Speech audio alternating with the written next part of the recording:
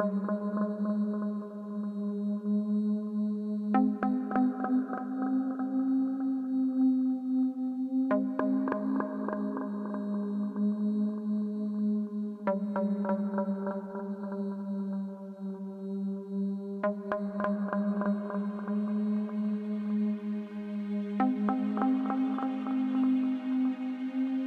I think we actually have a problem. I think my house is haunted.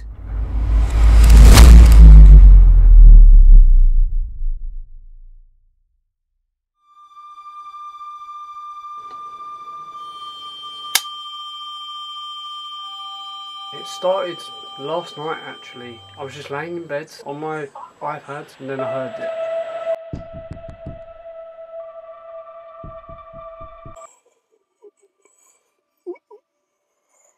Didn't know what to do.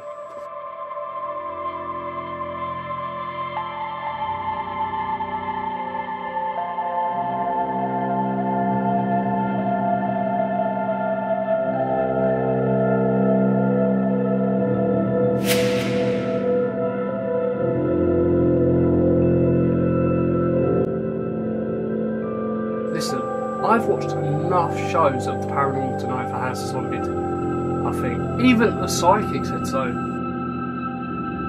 I've had a few experiences here and there, but nothing major.